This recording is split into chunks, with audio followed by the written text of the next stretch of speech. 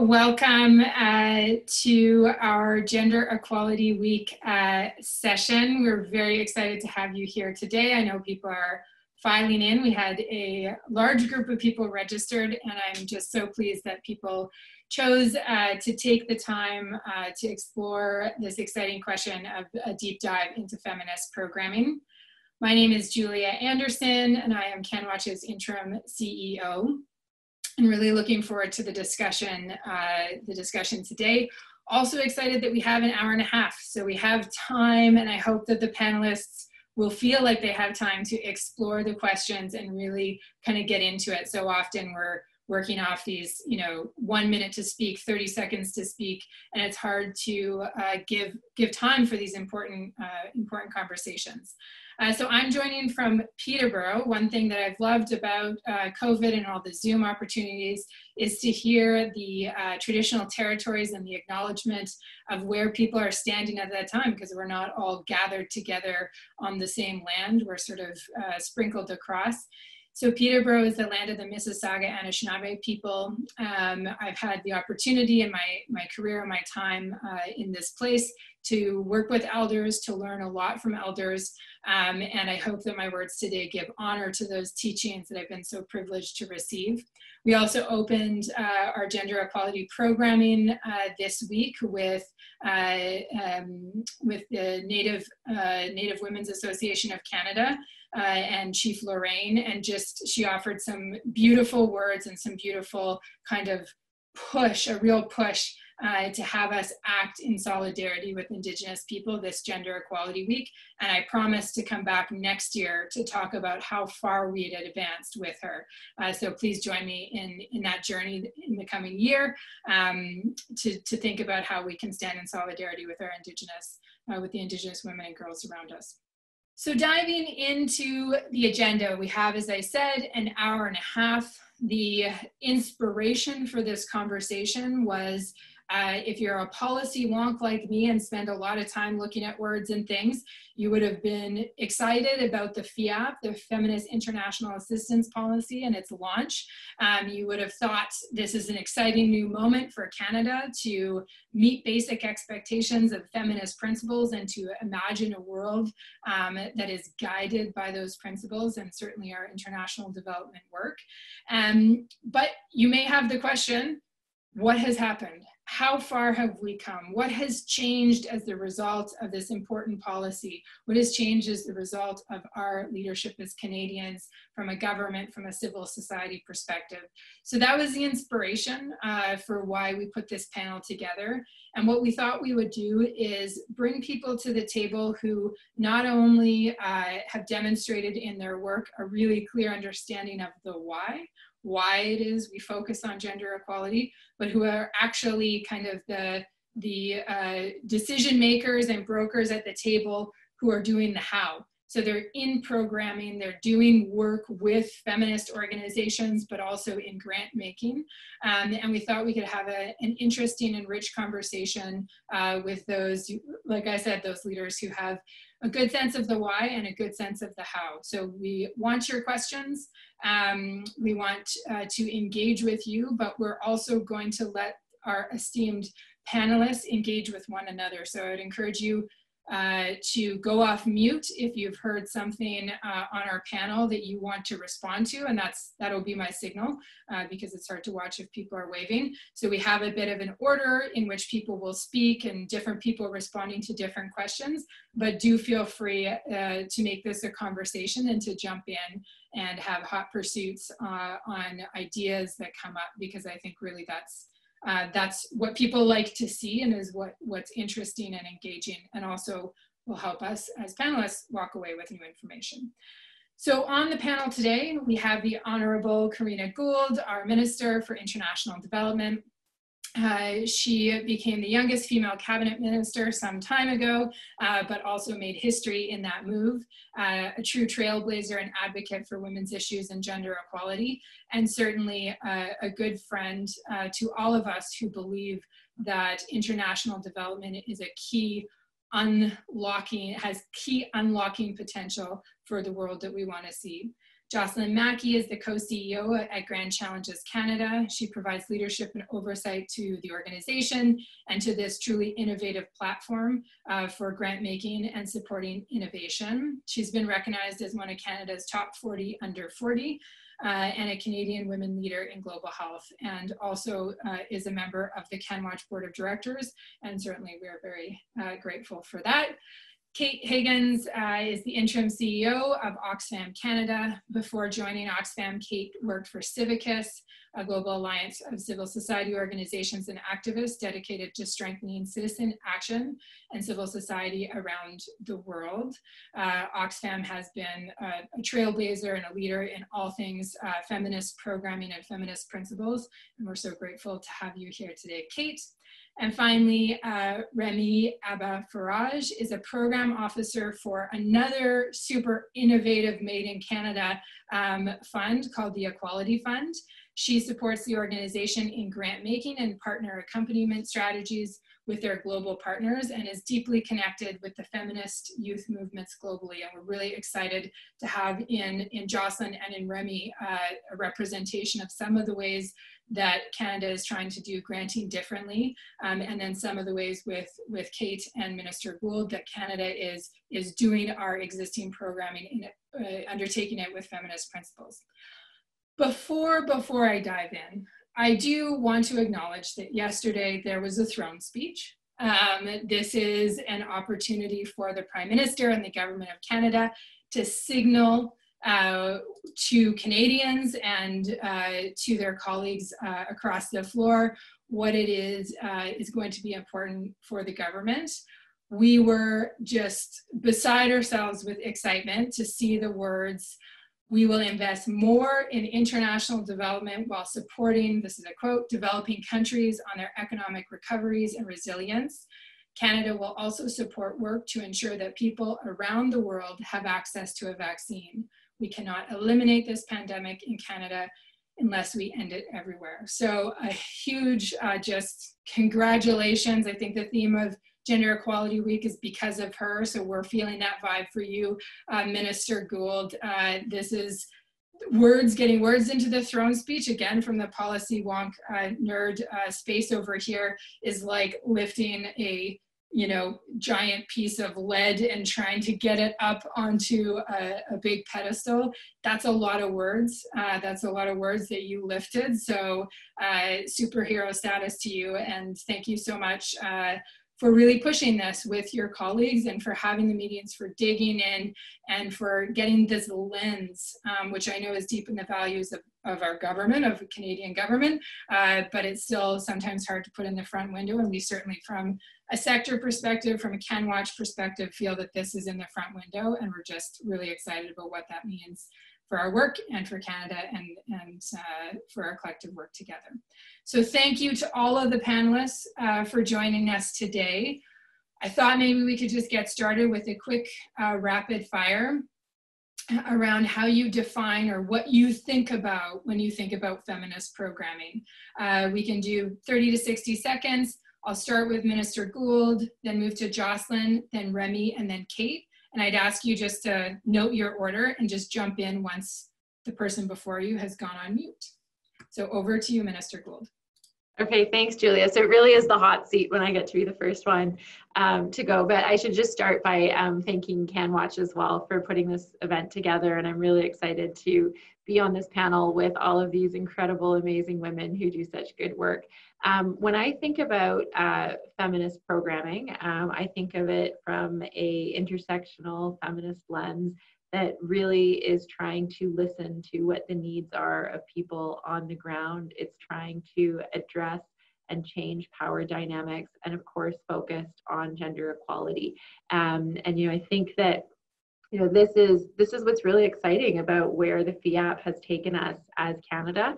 Um, you know that uh, when I get uh, projects for approval, I get to ask, you know, who was consulted um, what we're what you know what are the needs on the ground? How are we responding? How is this changing power dynamics? How are we um, you know walking as allies for the most vulnerable most marg- marginalized and most vulnerable uh, and providing them the supports and the resources that they need to make the change uh, that's going to benefit them the most and really lift people out of poverty. And i think that um, you know what i'm I was excited about when I was parliamentary secretary and we were doing the consultations. And what I'm super excited about as Minister of International Development is knowing that, um, you know, Canada really is doing, you know, the heavy lifting, kind of the technical work to be those allies on the ground and to really address uh, systemic inequality. Um, you know, it's, it's long-term work. It's, it's going to take a while, but we're we're there, sleeves rolled up, um, and really, you know, trying to do this in the most inclusive way possible to really achieve equality for all. Great. Uh, good morning, everyone. Thank you, Minister Gould, for all of your leadership. I'm really thrilled to be here today uh, together with Remie and, and Kate and Julia. And thank you, CanWaCH, uh, for your leadership in, in putting this together. For me, um, it's really about two clear things. It's about having greater impact more sustainably. We have countless examples in our portfolio of taking a gender lens or a feminist lens has enabled greater impact and more sustainable impact. So, all the things that the minister said, I 100% agree with, and it's about having that greater impact more sustainably. And I think you can do that better and more effectively with a gender and feminist lens. Thank you, everyone. Good morning as well. Um, it's a pleasure to be here and be part of this amazing panel. Um, so really, to me, uh, feminist programming is about undoing patriarchal relationships and really social structures. It's uh, the power over relationships and structures that harm everyone, and, and, we all know that. We have countless examples, as, as saying, um, especially women, young women, girls, trans, and non-binary people. And feminist programming aims to raise the power and ambition of all women, young women, girls, trans, and non-binary people who really carry many identities, uh, backgrounds, and life experiences. So it, it's really about programming that supports and builds collective action and movement, and really taking direction from organizations led by people they represent, and acting truly on the concept of nothing about us without us. Thanks. Good morning, everyone. I'm also thrilled to be here. Huge thanks to CanWaCH for organizing this and uh, huge congratulations to the Minister on the throne speech. Um, why don't I take a bit of a different approach uh, in my rapid fire response? And I am going to talk about who, what, and how of feminist programming. I think feminist programming has to put women's rights organizations and movements at its heart.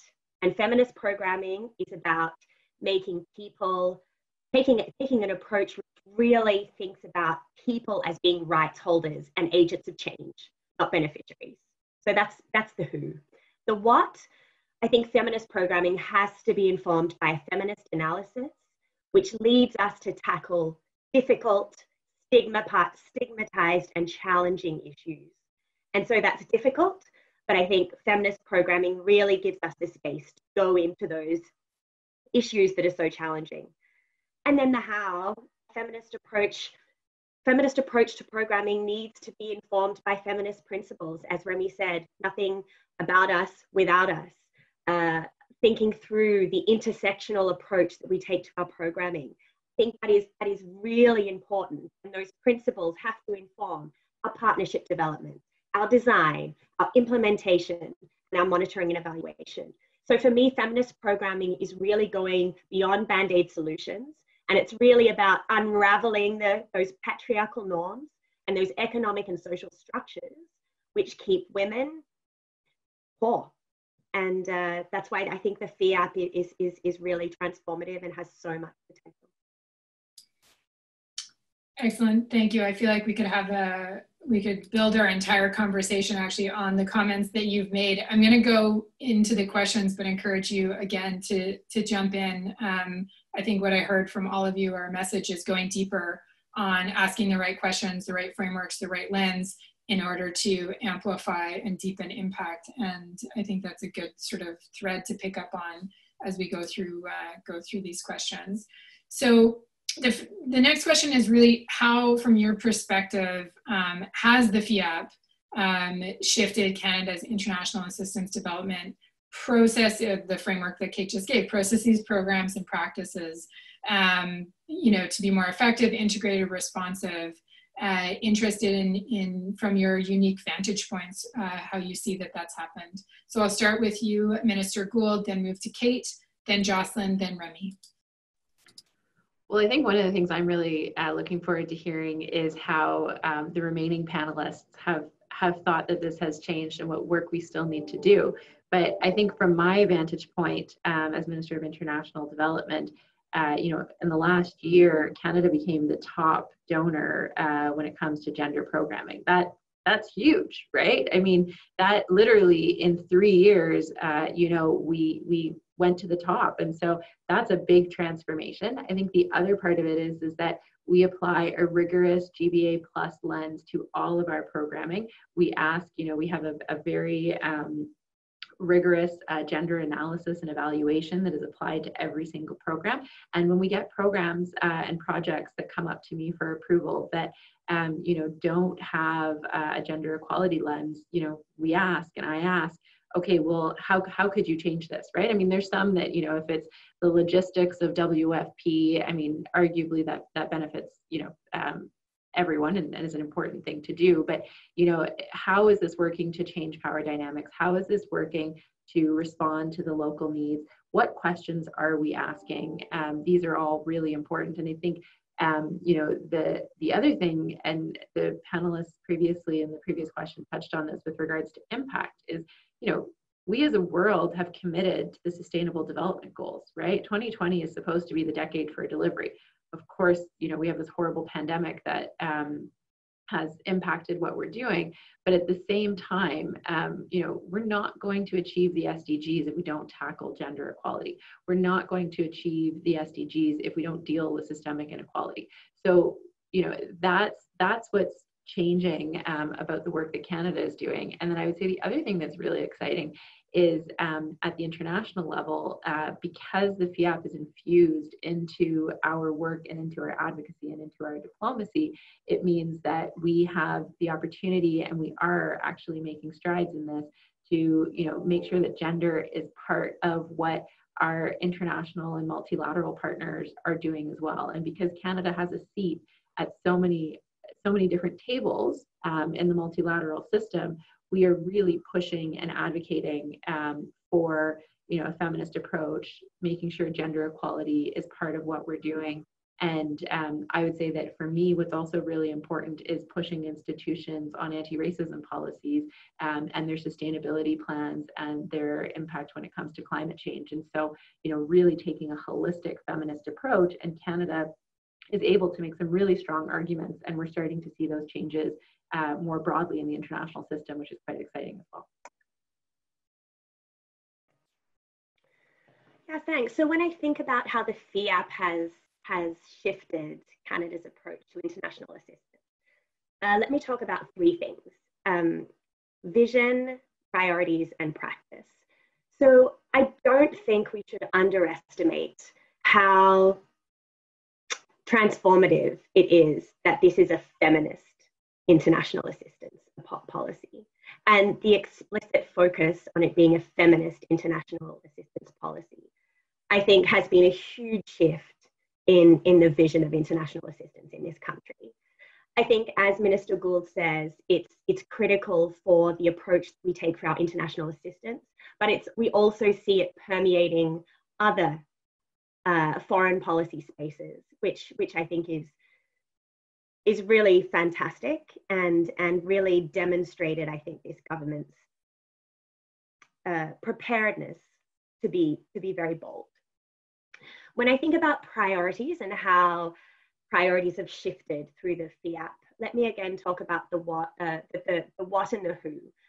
Just to build on what I was saying earlier, I think the explicit naming of this being a feminist international assistance policy has given a number of us a lot of coverage and space to tackle those stigmatized, tough, difficult, controversial issues that we know need to be invested in to really shift the power dynamics in our economy and in our society.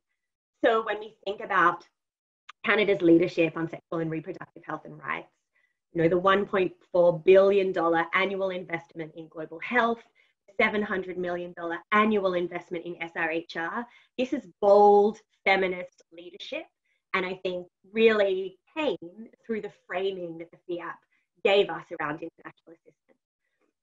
I think there are other spaces when we think about the issues that we're working on where we where where, where we could see more work. Uh, so, for example, uh, the minister's mandate letter does have an explicit uh, priority around the paid and unpaid, uh, around paid and unpaid care. I think this is also, if COVID has shown us anything, it's that the care economy is absolutely critical for us in Canada, but also around the world. So I think this is another example where Canada, and we could all collectively show more leadership. There's a, there's a leadership vacuum here globally around the care economy. It's an explicitly feminist issue. We know how important it is for really tackling these inequities that are keeping women poor here in Canada and around the world. So I think it's another example of how the feminist international assistance policy is giving us space to move in and work on issues that have been stigmatized or frankly ignored. When I think about the WHO, just linking to what, what has already been said, the FIAP has really given us space to invest in women's organizations and movements. We know that is where the change is happening. We know that women's organizations and feminist movements are the catalysts for the sort of change that we want to see. And so I think the, the investment in, in women's rights organizations through the Women's Voice and Leadership Program, through the Equality Fund, it has given us all coverage to really prioritize this and be very, very deliberate and to hold each other to account for our investment in these really important organizations and movements.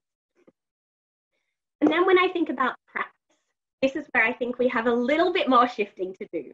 So I think we have seen some good shifts.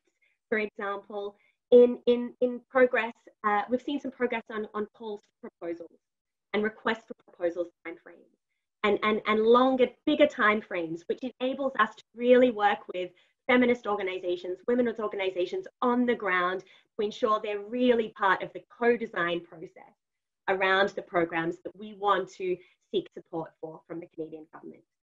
But where there's more work for us to do, I think around compliance, we all know this is very challenging and is burdensome, and in some cases prevents us from working with the very organizations on the ground that we need to work on. I think on accountability frameworks, we have more work to do. I think we're all looking to towards the accountability framework we will see on the Thrive initiative so we can really monitor and ensure that that vision and that commitment and that investment is tracked and monitored and we're holding each other to account on that. And of course, I don't need to go into this in that much detail, but when I think about practice and I think about the localization agenda and I think about giving organizations on the ground space to do the work they need to do, obviously Canada's charity legislation and framework around direction and control continues to, to, provide challenges for us. So I would say great work on the vision, really good work on the priorities, some work to do on the practice. I think I think we're all ready to work collectively on, on that part um, to really, really see this this FIAP shift.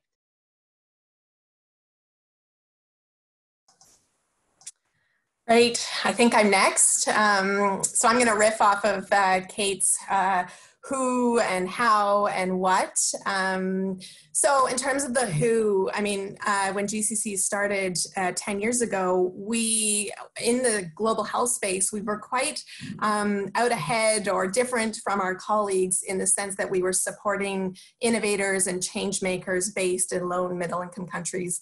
And I know that uh, those of, of us in, in development, that doesn't seem transformative, uh, but I can assure you in the global health space, it certainly was. But what the feminist um, policy allowed us to do is to really double down on the nature of the organizations we, we support and to focusing on women led um, entrepreneurs and innovators And you know, across our international development um, portfolio, we now have 46% um, are women-led because of our concerted focus on that, and we're going to keep pushing at that. And it's different. You know, some of our portfolios are 60%, and other ones are kind of 30%. So we have work to do, um, but that certainly has has been um, a change on the on the who on the how you know before the policy i think like everyone we had a gender equality policy and and we we did gender lens investing but you know honestly it was a little bit more of a check boxing exercise or box checking sorry exercise. And what the policy did for us is it really enabled us to go much more deeper um, asking the difficult questions, talking about intersectionality. Um, and so how we do our gender lens um, investing and our gender equality um, conversations with the innovators we support really went to a whole other level. And that's when we started to see changes in programming and changes in how the innovators we support uh, do their work um, and and so that the, they how really started to shift um, in, in our work. And then finally, the what. You know, in uh, before the policy, we had an emerging menstrual hygiene portfolio. We we had innovations in the space here and there, but the concerted focus on sexual reproductive health and rights is really um, had had changed for us. Started to change for us when the policy came in. I also think it's very safe to say that Grand Challenges Canada would not have launched our Safe Abortion Challenge had it not been for the policy. It's called the Options Initiative. And without that policy cover, there's just no way that we as an organization would have launched that program. It was an, uh, the first round uh, was announced by Minister Bibeau when she was Minister of International Development. And so I, I can't say enough how a policy can really influence where dollars come from, because that program up to this point is not yet funded by the government of Canada. It will be. Um, but uh, just to show that we were able to crowd in dollars from other funders, but we needed the policy coverage to enable us to do that. Um, so it really had an impact um, not just on the who or the how, but also the what. Uh, so from our side, I mean, I think the Equality Fund is a great example um, of the FIAP as, as we were introduced. Um, it's not only shifted, but it took a risk with ambitious individual, which I think many describe as, as dreamers. Um, I mean, the Equality Fund is a groundbreaking collaboration that continues to harness diverse actors to catalyze new momentum for women's rights and feminist movements. Um, like we were building on the experience of the Match Fund, Match International Women's Fund, and with significant contributions from the Government of Canada and other donors. Um, this is all very new for all of us and, and with our amazing partners. And, and thanks to the Canadian government and the support of Minister Gould every step of the way, it has been truly vital. Um, so together we're really building something very, very new, um, which is a feminist institution in and out. Um, saying this, um, what's really always top of mind for many of us is the responsiveness to providing resources to women's rights organizations and feminist movements, really working on the grassroots level um, to the regional and global stage. Uh, we know they are leading the change in their communities, and, and yes, the FIAP is groundbreaking. Um, and I think many of us here today are thankful it exists. Um, and, and as Kate really beautifully mentioned, I mean, we do we do believe we need more. Um, it's not only about implementing rights-based feminist best practices that continue to make uh, the FIAP a success, and that is what the Equality Fund strategy is, and, and we remain committed to it. Um, and that is to support the priorities of women rights organizations and feminist movements that they actually identify on the ground. That's great. Any uh, quick hot pursuits? No, not yet. Yes. Kate. Uh, you asked, so I came. I, I just think something that, that I think it's really important to mention up front in this conversation is, is also the internal work that the FIAP has pushed many organizations to do. Um, you know, we, we know that gender just organizations, organizations that have internal processes and cultures and practices that are gender just, do better work supporting gender justice globally. And so I just think that that is important for us to reflect on. And I know that we're all doing work in different ways around how are we intersectional in our internal ways of working? What does that mean? Um, but I do think it's important for us to reflect on. I mean, as Oxfam's a big INGO, you know, Oxfam Canada, we've been doing our work for a long time to really be feminist. There's still a lot of work that we need to do. Bureaucracy, I know, recognizes we still have a lot of work to do. We're working with our partners on the ground to shift the way that, that to, to help them shift the way they work, to have the capacity to be more feminist in the way that they organize themselves. So I don't think we should lose that, that important internal dimension and, and we, we focus a lot on the impact that we're having externally, but I, I think that impact is often a product of the internal culture and processes and practices of our organizations and our coalitions. I, yeah, I mean, so much of what has been said uh, resonates, but just picking up on that, you know, I think um, from hiring practices to the way in which we operationalize our work plans and work with our teams, um, I agree. And I come back to the word that multiple people said it, of coverage. Um, so it's like the excuse we shouldn't have needed, should not have needed to go forward in this way and with this work. Um, but as a, you know, as a, a feminist, but also a privileged um, white uh, woman, middle class woman, you know, having to, to to think about that in a good way and approach these things and think about our own indigenous communities in canada i mean i think the fiap has provided as others have said coverage for those conversations um, and kind of an, an imperative and a pushing of it and that's incredibly powerful and i can't wait the ambition is that you know the black lives matter movement and black and indigenous that these things come into those conversations within our organizations and our external versions of ourselves um, start to play out in that way. So this actually leads into the next question, which is around um, the feeling in the feminist movement and the gender equality movement that you're one step forward, three steps back. And certainly when we look at other donor countries, uh, we hear a lot about regressive policies uh, from major donors, our, our friends in the South, the Mexico City policy, these things. I mean, um, it's hard not to to look glumly on the prospects of our work when you when you think about that. But there have been countries, uh, Sweden, Canada, France, Luxembourg, and recently Mexico, that have adopted um, formally a feminist uh, foreign policy perspective. Um, so, how has policy influenced partnerships on a global scale and in country programming? Is the question. I think, Minister, you actually started to talk about this how Canada's adoption of a feminist approach has had global influence. Um, so picking up on that and just kind of uh, going from there, I would invite Minister Gould to speak, then Jocelyn, then Kate, and then Remie. Um, and yeah, thinking about how can how how are we as part of the GE5 um, countries uh, having an influence uh, on the global stage? Yeah, it's a really, really good and important question, Julia. And I mean, I think there's obviously some, uh, a lot of concern with, um, you know, the president's decision to kind of double down on the Mexico policy, um, Mexico City policy. Um, you know, the latest review um, of 2020 has demonstrated that, you know, we're seeing an increase um, in unsafe abortions, and that is having a, you know, a serious impact on um, women's rights and women's health. Um, and I think we, you know, we all share this, but we, we know it because it's based on fact, is that, you know, limiting women's access to abortion does not mean there are fewer abortions, right? It means there are more unsafe abortions and that we're actually putting their health and safety at risk.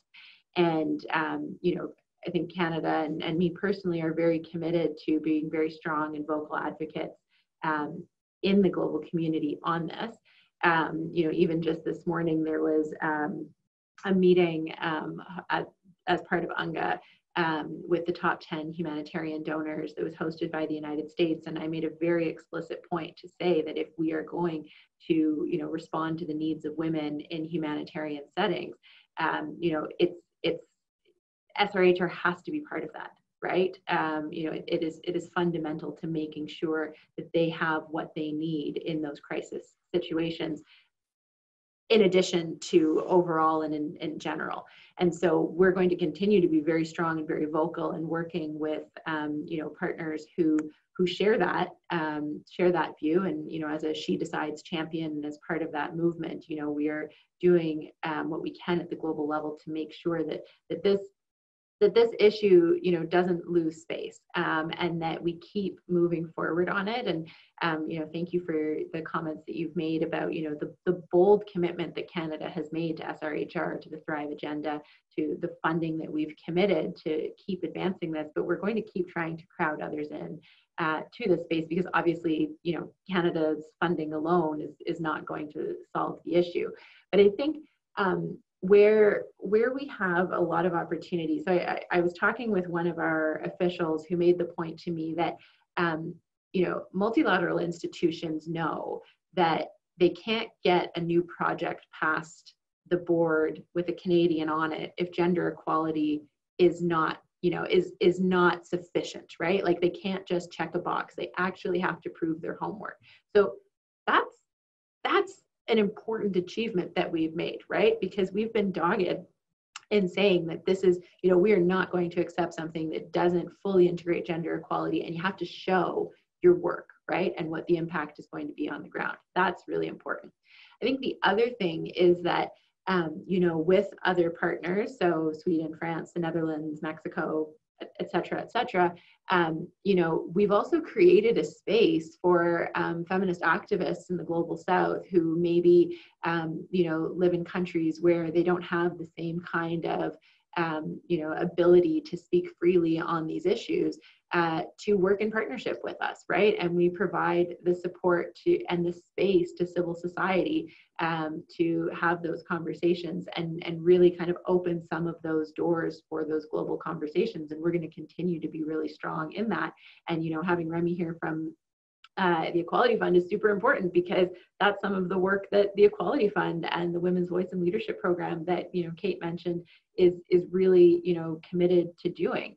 But I think it's also important, you know, sometimes um, I feel like countries might be like, oh, there's Canada on gender equality again. But we have to keep pushing for it because there's still a lot of work to do um, and this is a long-term process. But i think it's also about you know understanding like what what are what are our objectives right? Our, our objectives are you know um, lifting people out of poverty and putting people into a space where they can enjoy their their full spectrum of rights and that's something that you know i think a lot of countries can get on board with um, and helping you know to kind of you know explain and describe why um, women's equality and gender equality is important to that is something that I think we do well and that we're going to keep pushing on. But it, it's certainly a challenge because you know there are uh, forces at play that want to roll those rights back. And I, I always think that like 2020 this was the year of generation equality. This was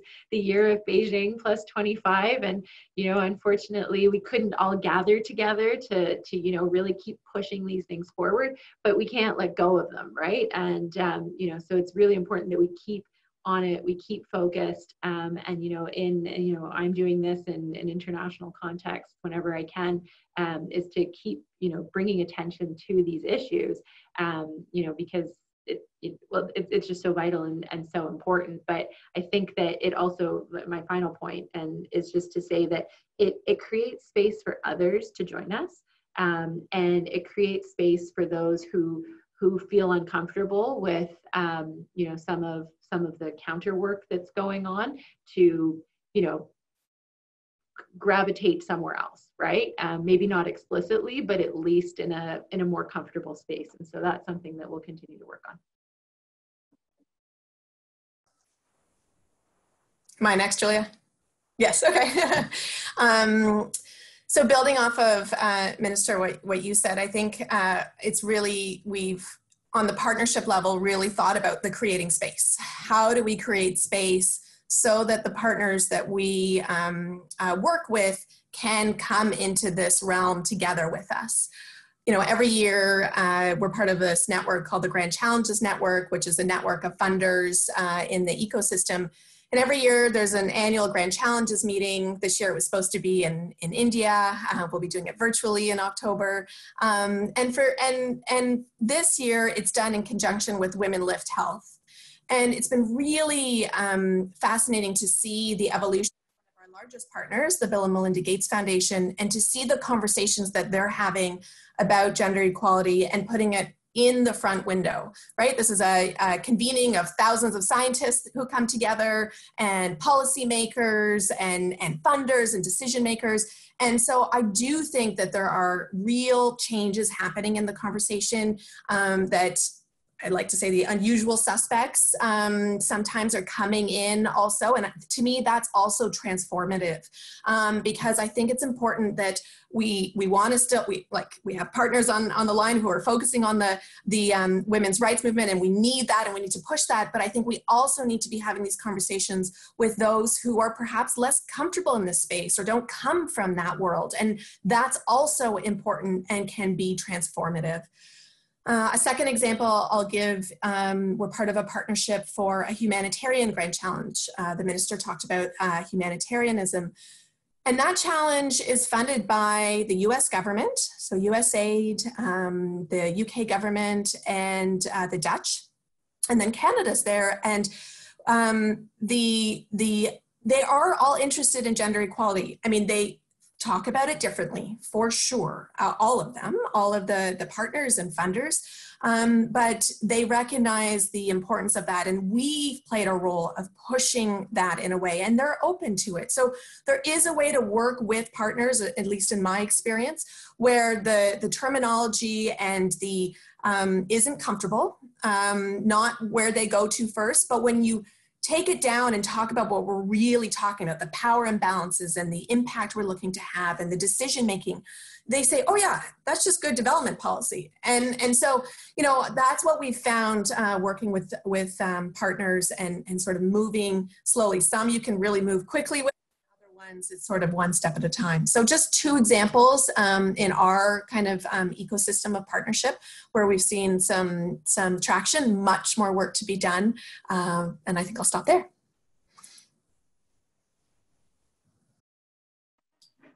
I think it's me. Uh, yeah, thanks. This is such a great way to spend the morning. Um,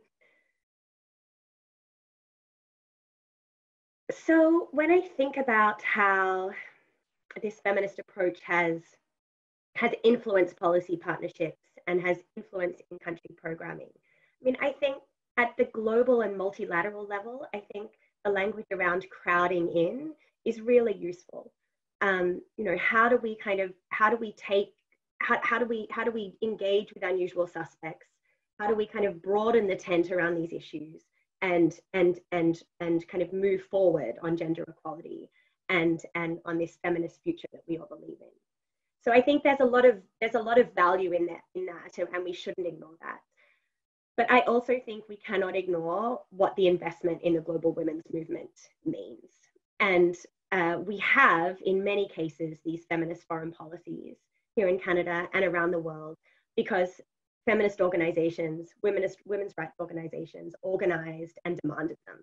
And so really continuing this investment in the global women's movement, I think is absolutely critical and is and and we've seen we've seen the benefits of doing that through the equality fund through the w7 through other initiatives where we've managed to bring global feminists together and i think we we should really value um, investing in local women's organizations on the ground, but also provide opportunities for them to connect in countries, across regions, across the world as, as a global feminist movement. The final issue I would like to just talk about um, is I don't think we should underestimate the challenge of having a feminist foreign policy. We have a feminist international assistance policy, and there's so much for us to celebrate. But to truly have a feminist foreign policy is very challenging. And there are, there are contradictions that we're faced with as we look at, at our foreign policy in practice. So whether that's the arms trade versus our peace ambitions around the world, whether that's trade policy versus our ambitions around workers' rights and human rights around the world. So I think taking a step back and, and the Canadian government's commitment to a feminist foreign policy, Minister Gould's commitment, Minister Champagne's commitment to, to a feminist foreign policy is really exciting. I just think we should acknowledge that there's a lot of work for us to do to really move this forward. I think there's a huge amount of excitement here in Canada around a feminist foreign policy, an acknowledgement of the challenges of really making it, it real, but I think a real willingness for us to work as allies, as civil society organizations, with the government in really moving this forward because we understand the impact that this can have. We understand how much work there is for us to, to make it happen. But um, I think we shouldn't underestimate the challenges, but the huge impact we can have if we can really see that coherence across a range of different foreign policy uh, areas and spaces.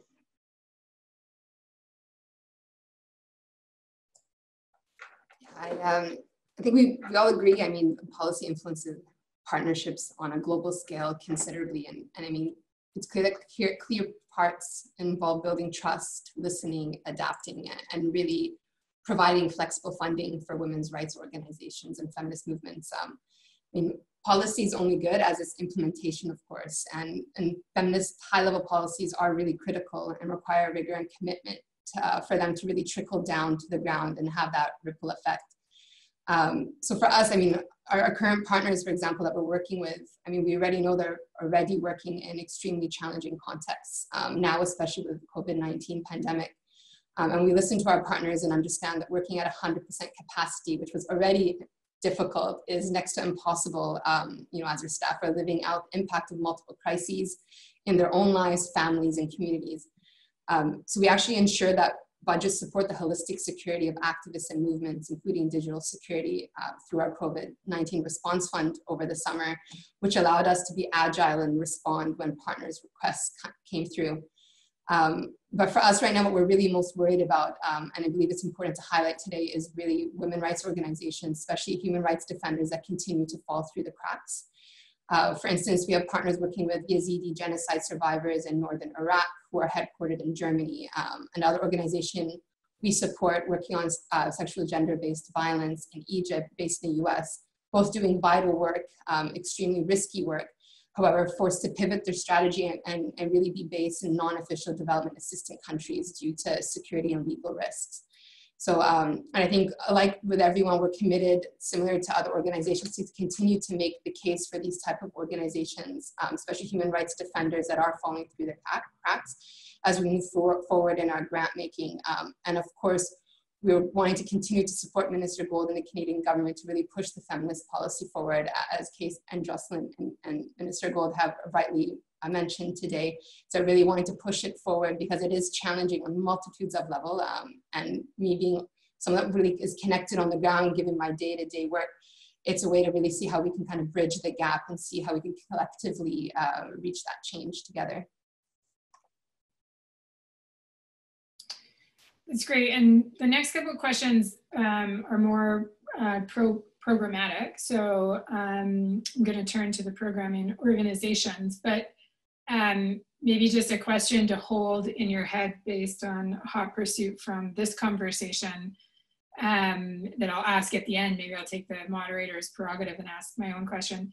One story, so, so I heard from all of you, whether it's in, you know, multilateral spaces in your meetings this morning, Minister Gould, or, you know, all three of you mentioned, all four of you mentioned convincing people and the language shifts and the kind of the way in which we influence and persuade um, others to come along. So whether that's organizations that we're working with, whether it's through other institutions.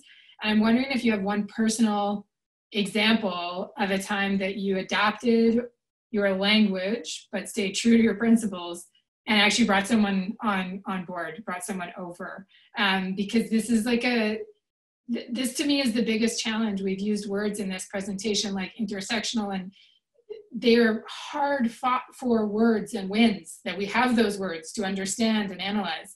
Um, but they're not accessible and this the language of gender equality is not accessible to all and you know minister gould talking about being like the flight attendant saying the same message everywhere that everyone knows canada's coming and so exits are here and gender equality here you know that notion of repeating the same thing, sometimes we find new ways of saying that. So just interested in your stories, uh, but I'll bring that to the end. Um, if you have any personal stories about having convinced someone and, and how you did that or brought someone along. Um, so in the service delivery questions, really interested, we talked a lot kind of at the policy level, um, but what about other programs and, and spaces such as you talked a little bit about advocacy uh, movements, but maybe diving deeper um, beyond just the kind of technical programming that we do. Um, how have these other spaces benefited from feminist policies? Um, and then I'll just tack on to that. How do you engage unusual suspects such as boys and men? You, all of you have mentioned that and a little bit more on, on the how. So we've got two questions in one, um, the additional spaces that we go and the additional people uh, that we engage along, along this journey. So I'll start with, uh, maybe we'll start with Kate uh, and then Remie and then Jocelyn.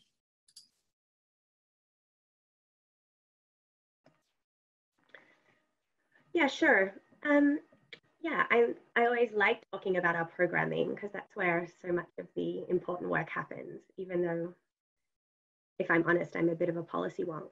Um, I think uh, I, I want to talk about two things. One is the importance of advocacy in our programming, and the second is uh, engaging engaging boys and men.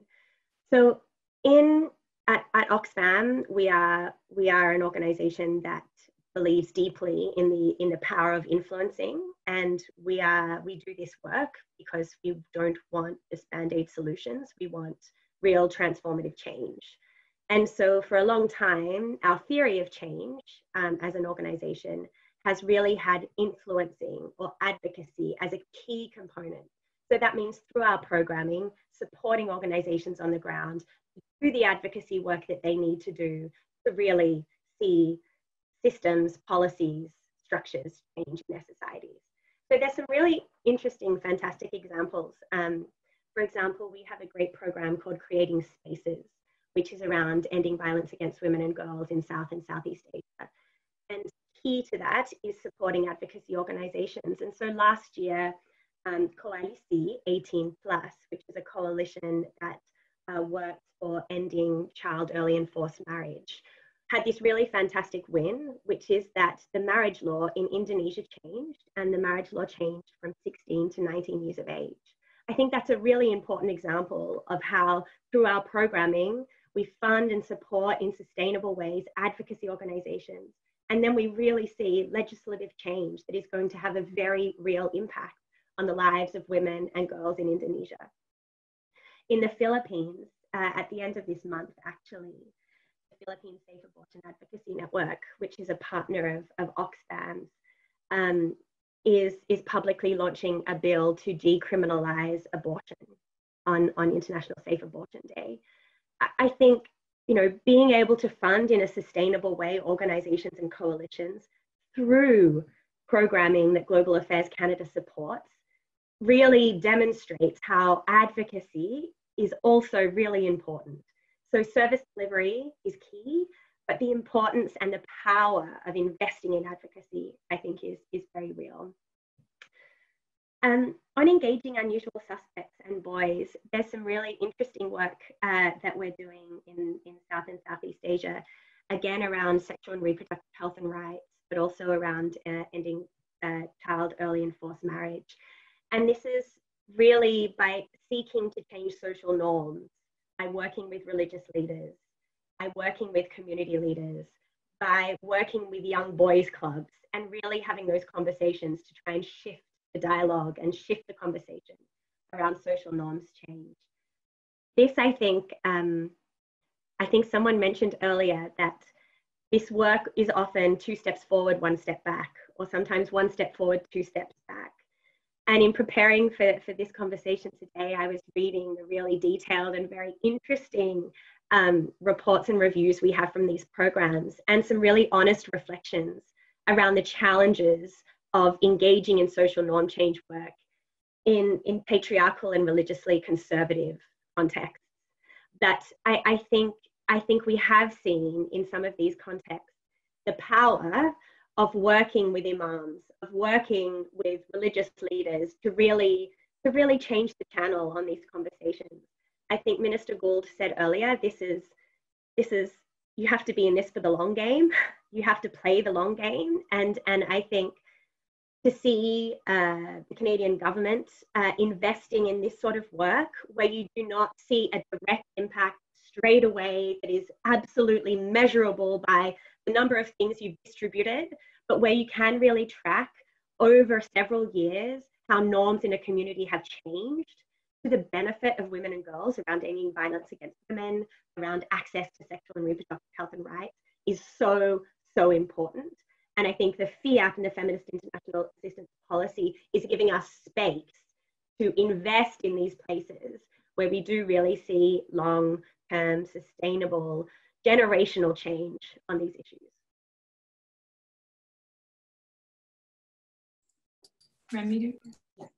Um, so I have, I mean, I have the privilege to work and be in conversation with partners directly on the ground nearly every day. Um, so this could be like a several day conversation, um, but I mean, the contribution to gender equality with a strength-based approach, I, I, mean, meaning it's given not only in specific to funding deficits, but also investing in resilience um, is enormous. And it's something continuously expressed um, by you know, by our partners within our different programs at the Equality Fund um, and beyond. Um, so for me, I think it's important, I'd, I'd, love to highlight a few of our partners that are really contributing um, and really working within this feminist policy on a local level. Um, so we have our, our partner in Nepal, I mean, and there's a varying degree, we have more than 30 partners right now. Um, they're applying an intersectional approach that recognizes uh, the responsibility of working with diversity of people in their communities. Uh, so it's really challenging the siloing of issues related to gender, disabilities, and indigeneity in a context where it's already difficult for Indigenous women to access funding from mainstream funders, but an additional challenge of living with a disability and being able to actually secure support uh, and working within organizations within Nepal. Um, we have our partner in Afghanistan, for example, that implements innovative ideas especially within their context where they actually run women run restaurants um, that are harassment free in the middle of Kabul that employs women from their safe shelters in order to provide them with economic opportunities. Um, they, they continue to be survivors of their harsh reality while also engaging in ways to actually support their household.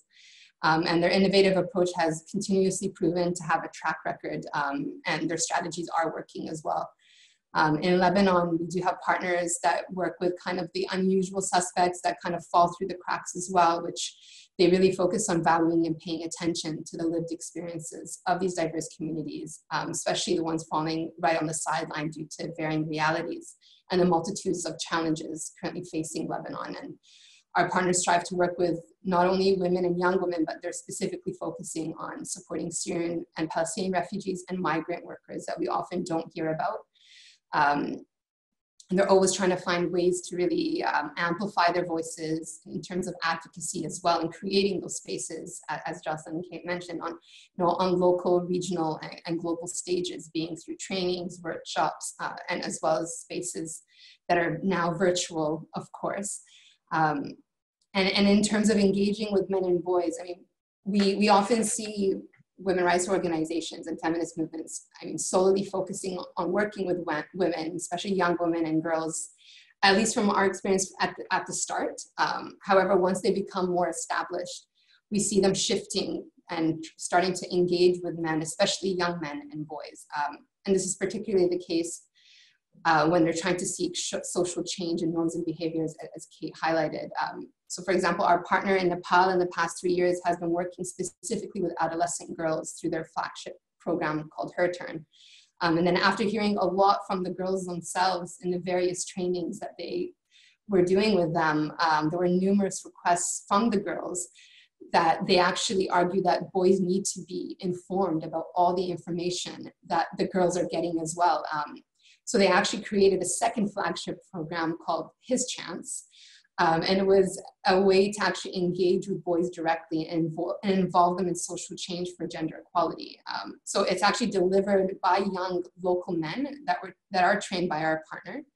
Um, and their workshops educate the boys on many, many health issues from puberty to hygiene and even menstruation um, and even safety issues um, with bullying, harassment, early marriage, human trafficking. And I mean, the, the workshop uses gender transformative approach. And I think, Julia, to your question earlier for later, I think that's important to see how we use this language and localize it as well. But I really encourage, and they've shown that it's actually created depth in discussions on power dynamics within their communities.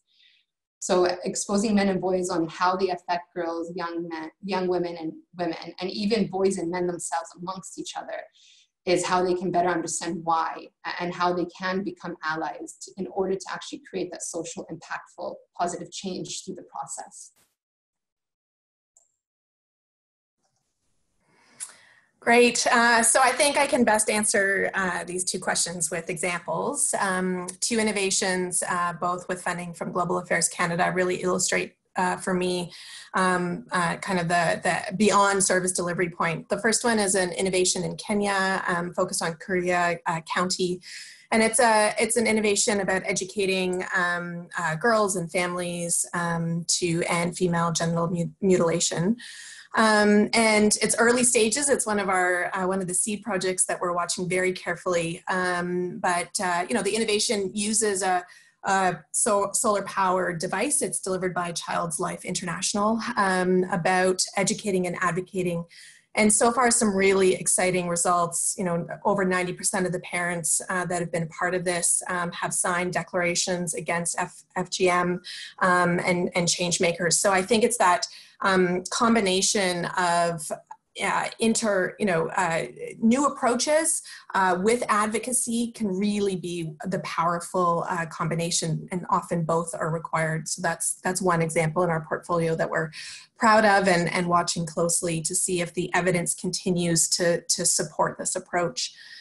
In terms of engaging um, uh, boys and, and men, lots of examples uh, of how critical this is you know, I've been thinking about a passage in, in this book that I read recently, uh, White Fragility, about how, you know, uh, really required men to grant women suffrage in, in the US. They were talking about this and how you have to engage the power, those with the power, with the decision making if we want to affect change.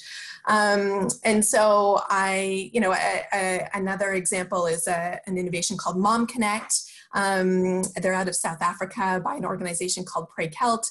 And it's an M Health, uh, mobile health uh, innovation, providing new moms uh, with health information.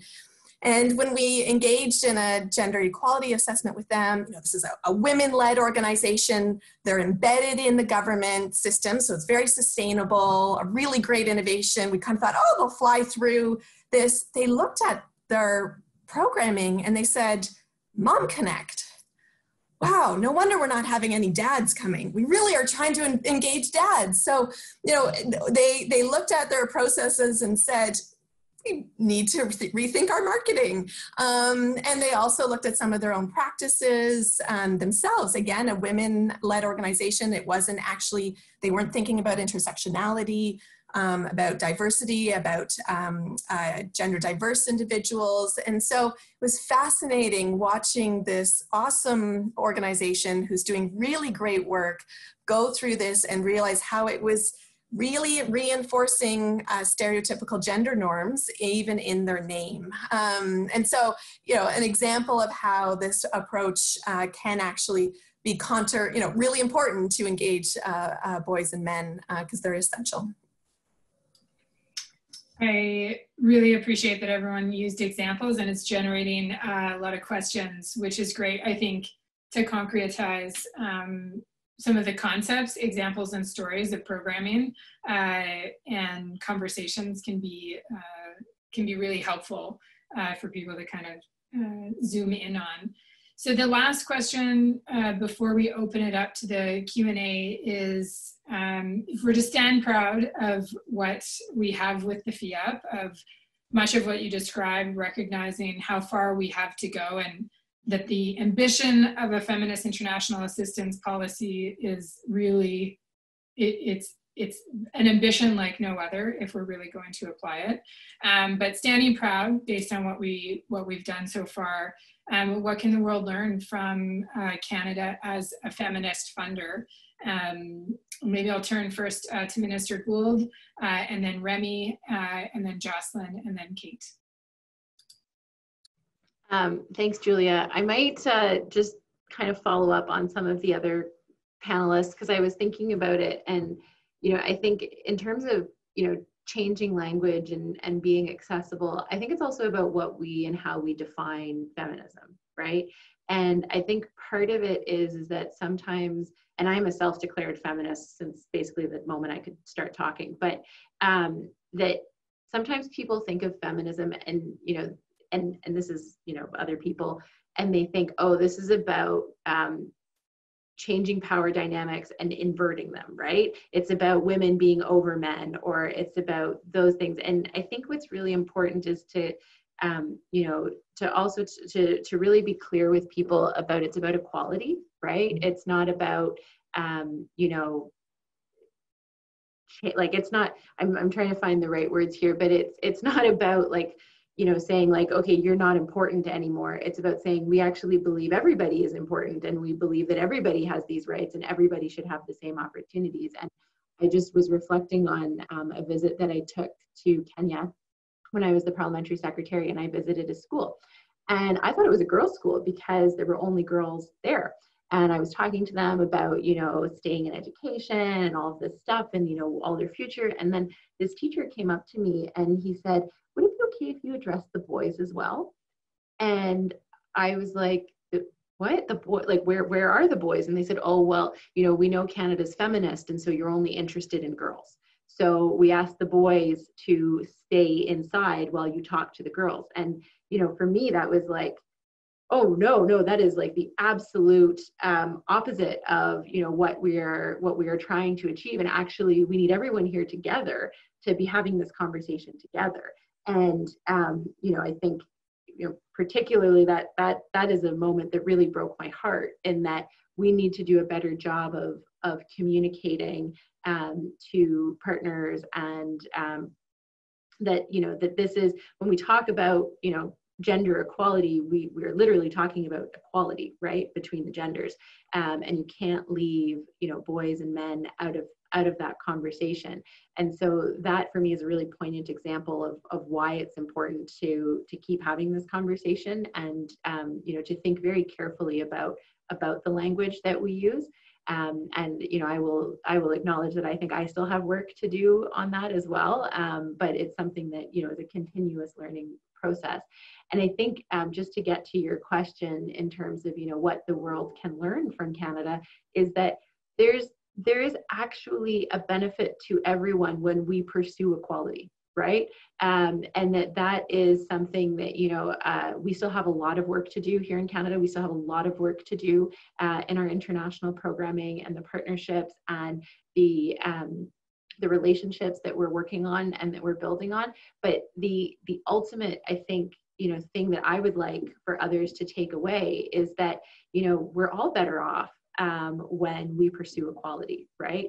And that, you know, when we um, actually focus on women's rights and uh, enabling them to have access to a holistic version of their rights, that everyone in society is better off.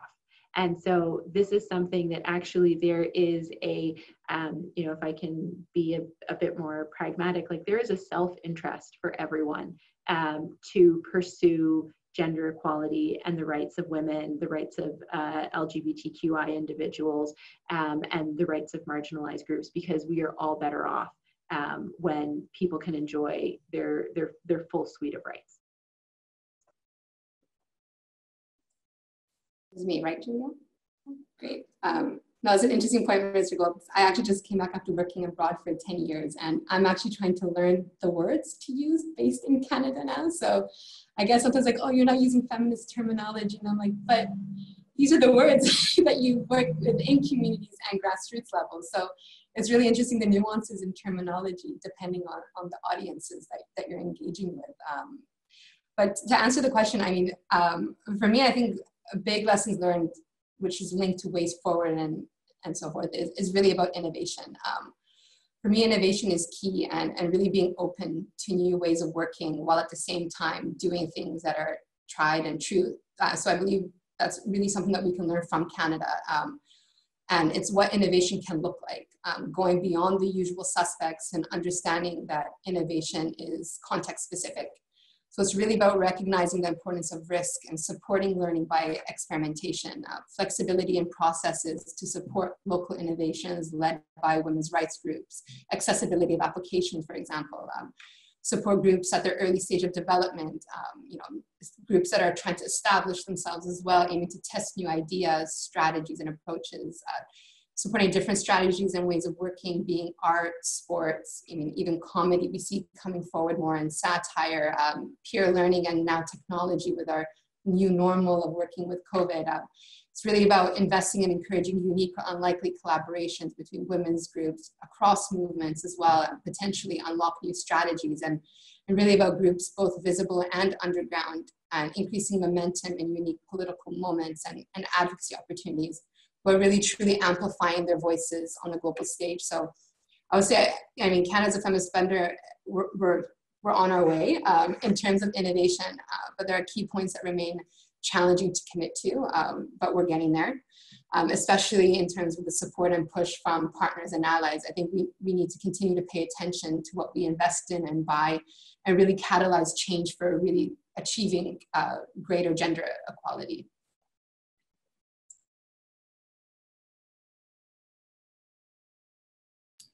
Uh, Kate? My next?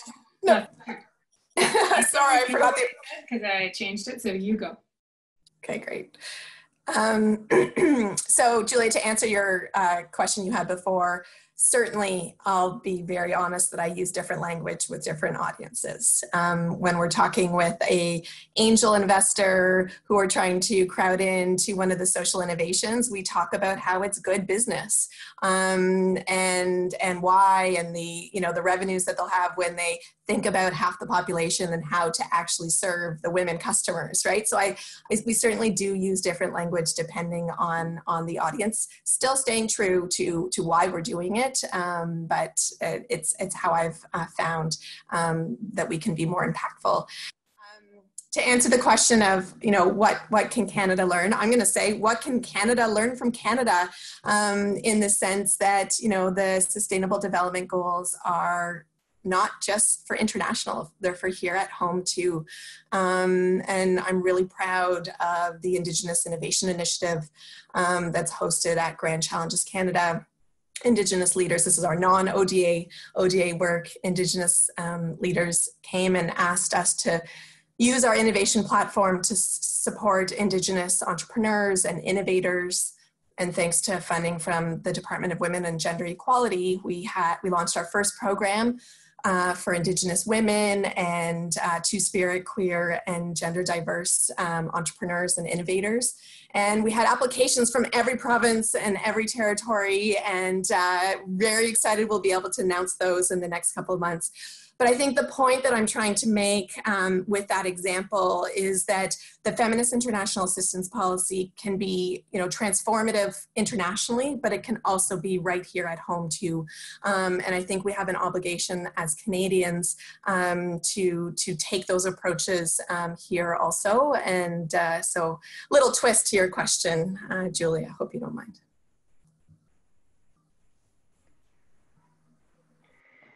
Uh, thanks. Let me answer your question first, uh, Julia, around um, having conversations.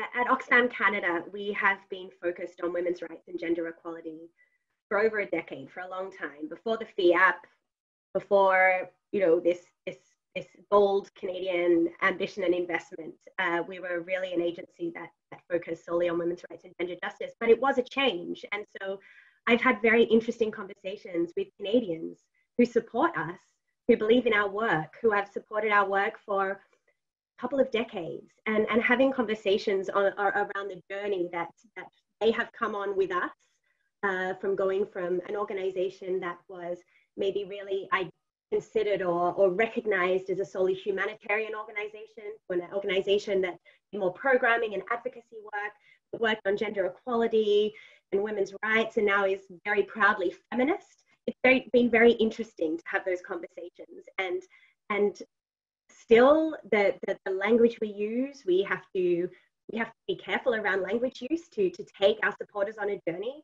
But what I have actually found most illuminating is talking to people and hearing them play back the journey that they have gone on with us.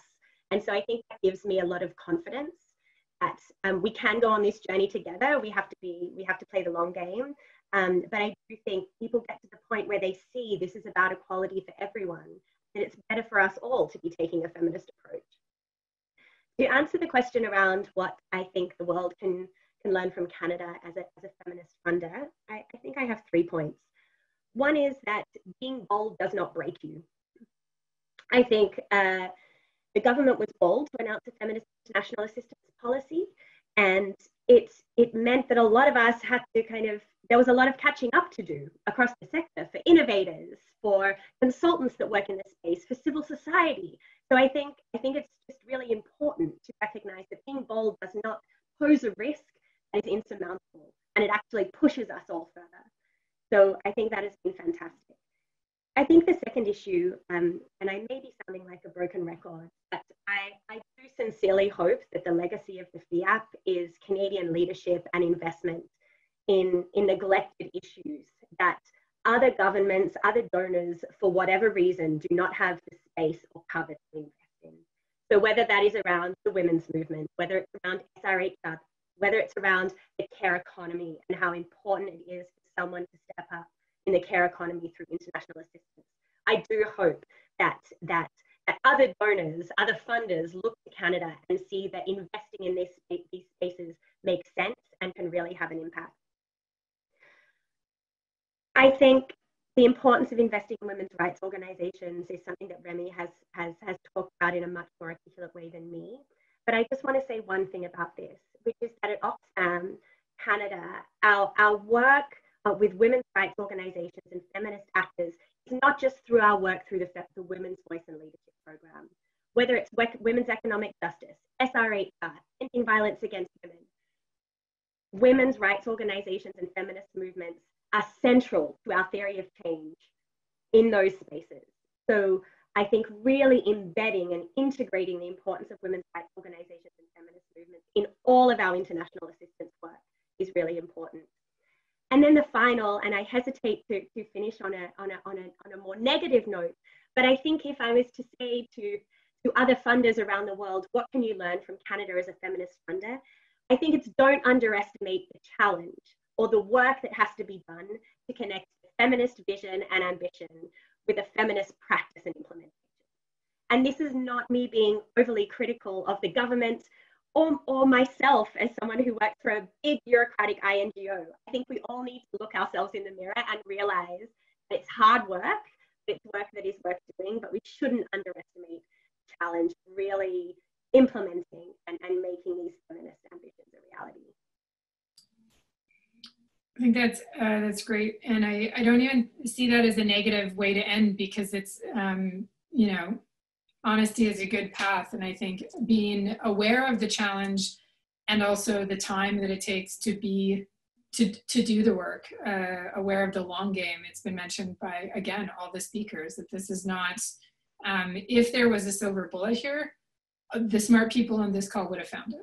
If there was an easy path, we would already be there. There's there's no end to the commitment, but the work is hard. The work is difficult. We have um, a couple minutes for one uh, closing question from the floor. Um, and uh, for all the questions that have come up, some have been answered. We've been trying to to look at the ones that have been answered and and um, the ones that haven't. But what I'm going to commit to is to following up uh, with the panelists um, and getting some uh, where there's specific uh, questions to specific people. I will follow up and I will send that out with the recording of this uh, webinar to you, some responses to keep this conversation going. Um, I also encourage you to to ask. There's a lot of good and positive and constructive questions, and uh, feel free to put those out and tag CanWaCH uh, on Twitter um, or elsewhere, and we can again keep the conversation going because I think you've heard that that is critical. So I'll ask you each of the speakers this this last question because it is the the COVID informed and ever present in our community question. I think it's a great one to wrap up on. Uh, and then I'll, I'll, ask you to give your closing remarks uh, as you go through the speaker list. And I'll start with you, Minister. So uh, how can the development community, our community, seed greater ownership of feminist pr principles, foundational feminist principles uh, within other foreign policy uh, communities?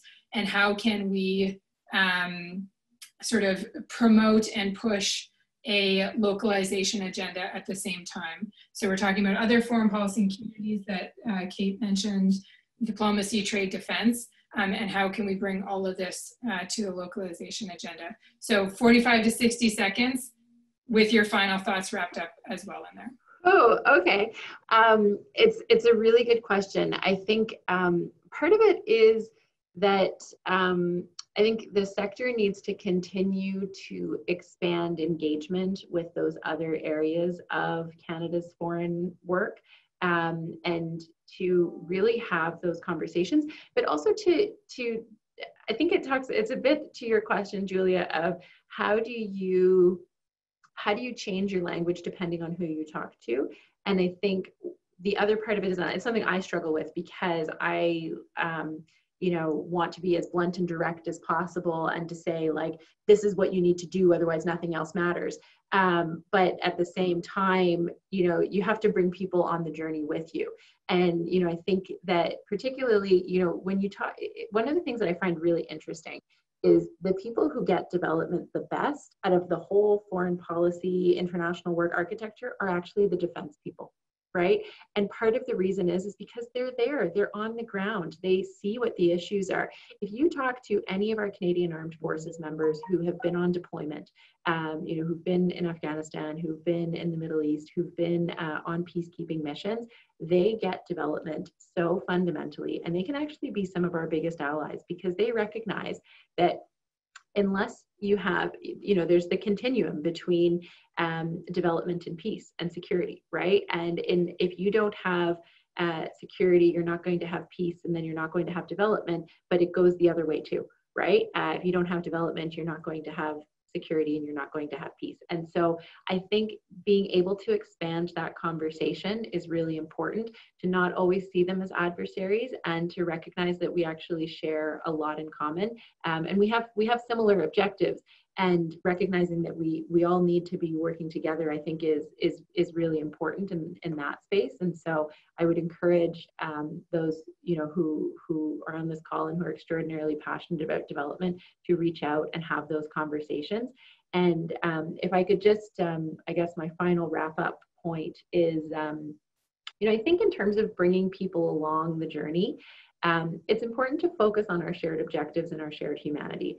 And I think that, um, you know, it's, it's, we want to use the language, you know, I, I want to tell everyone I'm a feminist. I want to tell everyone uh, that, you know, it, like SRHR is, is non-negotiable um, if we are to truly achieve the objectives um, that, that, that we share.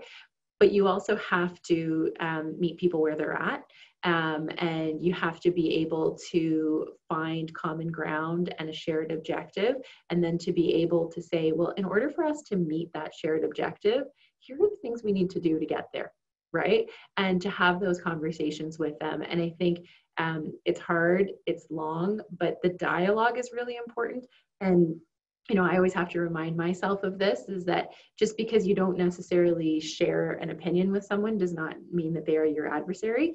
Um, and that in order to actually move this forward and, you know, to make the FIAP something that, um, you know, lasts over the long term, it means that we have to bring people who don't necessarily share those objectives on side with it um, and recognizing how important it is uh, to make sure that those feminist principles and objectives form part of our work moving forward as Canadians. Beautiful. We have we have 20 seconds each because the a couple of people have hard stop at uh, at 12:29. So Jocelyn, I'll turn it to you for your 20 seconds. Uh, then Remie, then Kate. Oh, 20 seconds, so hard. I mean, the way we've tried to do this a little bit is through science diplomacy. So, talking about decision makers in science in different countries, talking about examples where there's been collaborations between countries, and then using our approach to infuse that. Same thing on trade, you know, when you support local businesses who are trying to change um, and lift people out of poverty in low and middle income countries, it gets the trade people really excited because there's, you know, opportunities. So, we've done it with little examples um, to try and speak to to different um, kind of policy um, uh, movements. So that was fast. Um, just a real pleasure being here. Really appreciate the conversation and look forward to continuing it with all of you. Challenge at the end, Julia. Um, I mean, not to repeat, because all the two points resonated a lot, uh, but I think it's really about bringing people on the journey. I mean, we're doing this with our philanthropy groups. We're really doing this as well with our investment team, bringing in the private sector. And I think it's really about bringing in those local voices and the work that's happening on the ground and bringing it to the global and national stage within Canada. Um, and not being afraid to be challenged, as Kate ended with her point, not being defensive when we have to learn new things and face tough truths, and, and really envisioning different perspectives. Um, it may be uncomfortable at times and i know internally it happens not just externally but it's really important and, and that's truly how positive impactful change will be achieved by, by really make, bridging those gaps and simplifying language and seeing how we can achieve that same objective which, which is ideally and to be honest at the end it is the same objective just finding ways to do so Super quickly, I think uh, finding concrete ways to engage. Minister Gould talked about working with the defence community. I think if we think about women, peace, and security and how that has really risen in prominence, I, I, I think that's a really clear example of how when we come together around a concrete issue, we can make that work. I, we at Oxfam have also done some really interesting work with, with, with the trade experts around uh, trade agreements and how to, to integrate a gender dimension into those trade agreements. Um, one thing we haven't mentioned much is, is that obviously we want to increase the ODA pie so that we're able to match our ambition with impact. And so we're going to have to get these different communities and different stakeholders on board really push for more ODA. But I think thinking about concrete ways to engage these different communities is, is, is a really good way for us to, to start speaking the same language um, so that when we get to more difficult issues, we, we have some good relationships. Thank you, everyone. Uh, time to drop off. I have no concluding remarks. The, the conversation has been rich and uh, super dynamic. Thank you to the panelists. Thank you to the participants. Uh, there'll be more to come from CanWaCH. And have a great rest of your Gender Equality Week, everyone. Bye.